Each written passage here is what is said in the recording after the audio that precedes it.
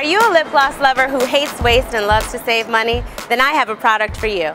My name is Keisha Wright, and I have loved lip gloss forever, but I've hated having to throw tube after tube into the trash can that still had usable product inside because I couldn't get it out. So I created a revolutionary new cosmetics tool to help lip gloss lovers like me save valuable product and money. Say hello to Swoon.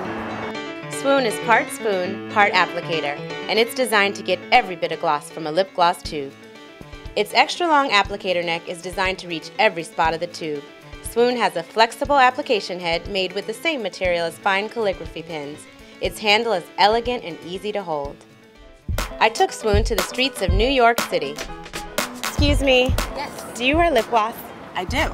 Look at that. It scoops every little corner. Wow. I use Q-tips to get to those corners. Right. And it's so sticky and I lose I lose a lot of the product. So I love the applicator tip that's so soft and just really like it feels even too. I like how it goes.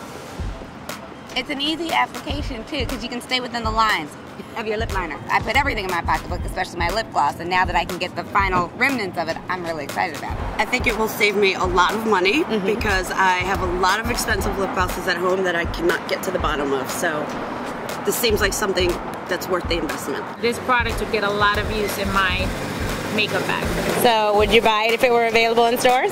You're not giving me this one? we can talk later. Support our efforts so that millions of lip gloss lovers like me can say goodbye to Lost Gloss and hello to Swoon.